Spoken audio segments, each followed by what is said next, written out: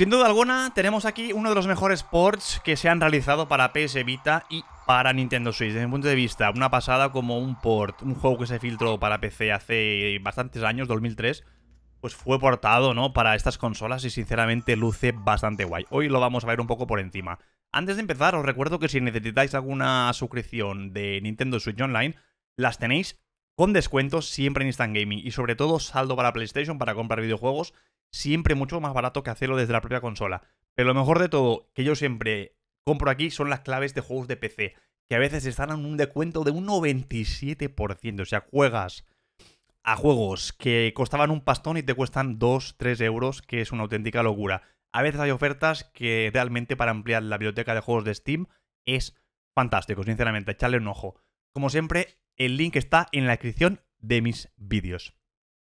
Sí, señores, bienvenidos. Repositorio de GitHub muy interesante por parte de Zeno Arrows. Aquí tienes toda la información de cómo este port se ha desarrollado tanto para PS Vita como para Nintendo Switch.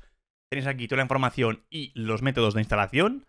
En la sección de reglas tenéis obviamente las descargas, que la última fue hace poquito para PS Vita, de acuerdo, mejorando mucho este port.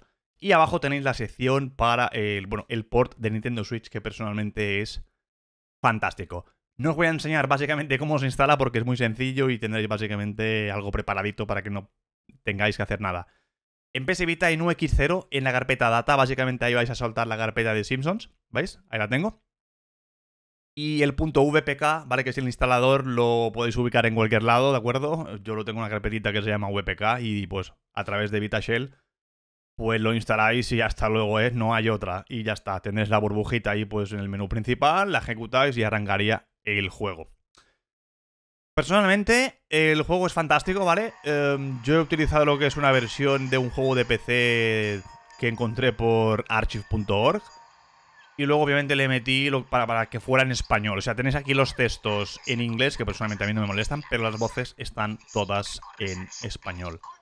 Y he estado jugando un buen ratito también en PS Vita y no he visto muchos glitches. Se ve que el juego es el que tocaba, ya que pone que no utilices el juego que se filtró, sino que utilices, no sé, uno oficial. Y pues parece que todo va bien, ya que hay pocos glitches en pantalla, aunque tengo que destacar que es un port que todavía no está al 100% terminado, ¿no?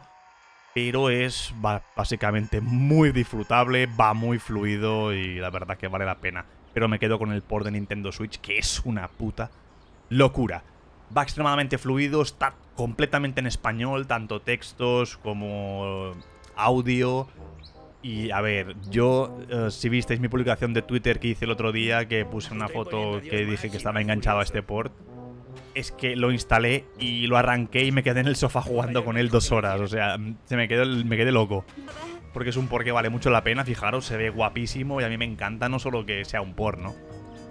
Me encanta cómo la gente, gracias a estos desarrolladores que hacen ingeniería inversa, ¿no? Para aportar un juego de otro sistema para que se ejecute aquí donde realmente no, no debería, ¿no? Así que esto es fantástico, tío. A veces sé que hay ports que no merecen tanto la pena, pero creo que este es uno de ellos, uno de los que merece la pena. ¿De acuerdo? Así que nada, chicos, ya sabéis, tendréis un post con toda la información en el comentario fijado para que lo podáis utilizar, cacharrear quien quiera. Espero que os haya gustado, darle duro a este super mega de Simpsons Hit and Run porque mola bastante.